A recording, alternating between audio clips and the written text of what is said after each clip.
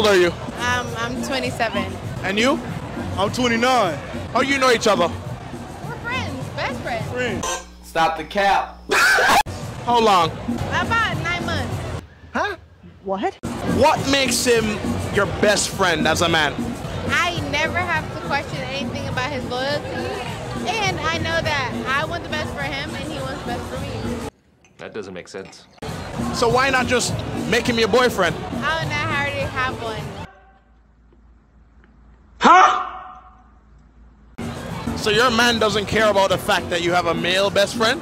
No, he's not my first male best friend either. He's like the third or fourth. I have I have no best friends. That's A. She was a hooah. B. She was a hooah. But you're out here with him and not your man. No, my man knows I'm out here with him. But be real with me. What's up? If her man left her, would you be the shoulder that she could cry on? Yeah, but I wouldn't. I wouldn't though. It was all a lie. Guys, it was all a lie. She lied. It's my homegirl.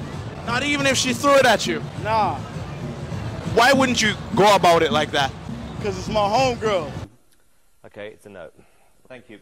I, I get hoes, and I experienced with her. She cooler than bitch. Plus, I be fing on her people, like her friends, family, shit like that. My granddaddy was a pimp. My great great great granddaddy was a pimp. I'm talking about pimping, been since pimping, since been pimping, since been pimping. It's in your bloodline, It's in my baby. blood, and you are